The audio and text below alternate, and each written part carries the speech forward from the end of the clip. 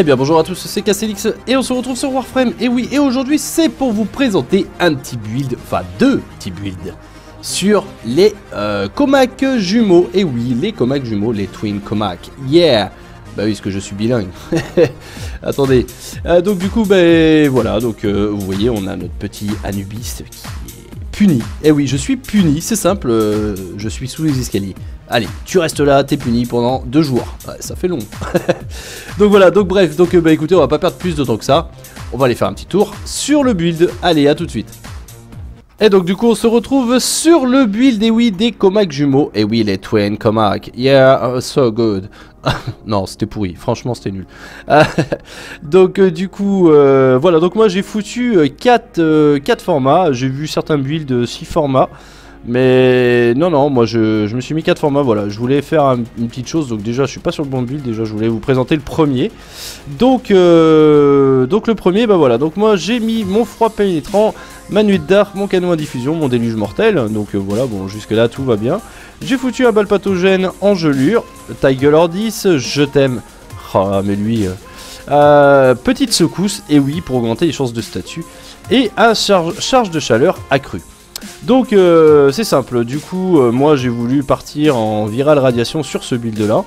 Donc euh, évidemment dégâts de poison hein, avec dégâts de glace et on augmente les chances de statut. On arrive quand même à 50,1. Donc, donc voilà, j'ai voulu remonter un petit peu le statut. De toute façon la critique à 5% c'est tellement peu que je laissais tomber. on a une recharge de 2 secondes une précision qui est assez moyenne. Bon, après, en même temps, euh, on peut pas trop l'en vouloir au Comac, hein, euh, voilà.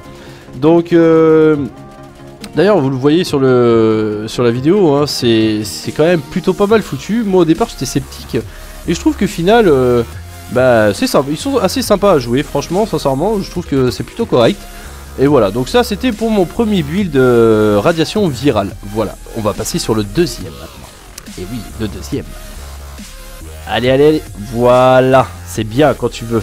Et donc là, bah, vous voyez, euh, la constitution du build est presque similaire. Mais sauf que là, moi, j'ai rajouté un pistolet de peste euh, en plus. Avec, euh, avec un secousse. Enfin, voilà, hein, je veux dire, j'ai changé un peu les dispositions. Vous voyez que le pathogène n'est plus à la même place. Et du coup, bah, on part en explosif et corrosif. Donc, ce qui fait assez mal d'ailleurs, aussi, on le voit aussi. Euh, que c'est plutôt pas mal. Les stats euh, sur le reste ne changent pas, on a toujours un chargeur 80, euh, on a toujours une critique à 5%, on a toujours 50,1% de statut. Mais par contre, et eh oui, parce qu'il y, a toujours, y a toujours une contrepartie, un bémol sur des builds comme ça, c'est que ben, c'est pas mal, c'est pas mal comme build. Hein. Après, je vais pas le répéter à chaque fois, mais c'est vrai que ce sont mes builds. Vous n'êtes pas obligé de faire les mêmes. Mais du coup, sur ce build là, enfin sur ces builds là, euh, les balles partent super vite. Donc, euh, vous pouvez enlever un mode.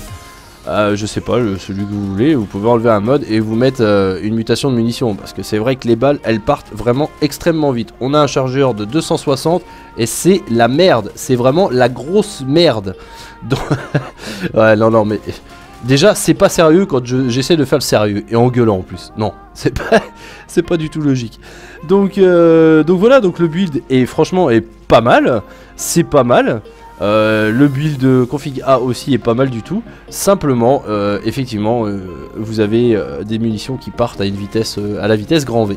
Donc voilà, donc c'était le petit conseil si vous voulez faire un build un peu dans, dans le même genre. Enfin voilà, après il y a plusieurs possibilités avec les Comac jumeaux.